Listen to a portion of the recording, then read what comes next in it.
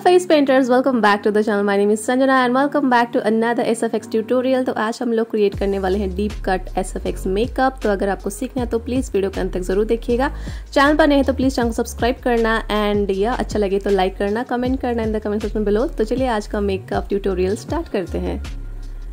सबसे पहले wet tissue से मुझे जहाँ वॉन्ड बनाना है, मैं वहाँ क्लीन कर रही हूँ ताकि हमारा जो वैक्स है अच्छे से आराम से लगे, जो भी मेकअप मैंने किया है उससे अच्छे से मैंने निकाल दिया है। उसके बाद में लिया है लैश ग्लू और अच्छे से जिस शेप का मैंने वॉन्ड बनाना है ना, उस टाइप का ही मैं ग्लू लगा रही हूँ ताकि मुझे वैक्स लगाने में इजी हो। उसके बाद मैं ये हैंड फ़ैन के हेल्प से उसको ड्राई कर रही हूँ।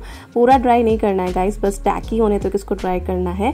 और ड्राई होने के बाद मैंने ये वैक्स का, जो एस एफ़ एक्स वैक्स था दो स्ट्रिप लिया है और इस तरीके से मैंने अप्लाई किया है।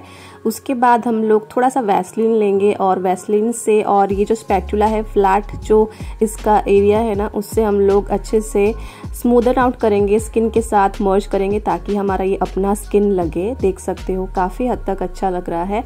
ऑलिनेस को हटाने के लिए मैंने यूज़ किया है पाउडर आप कोई भी पाउडर यूज़ कर सकते हो। आपके पास लूज पाउडर है तो वो भी यूज़ कर सकते हो और टेलकम पाउडर है वो भी यूज़ कर सकते हो।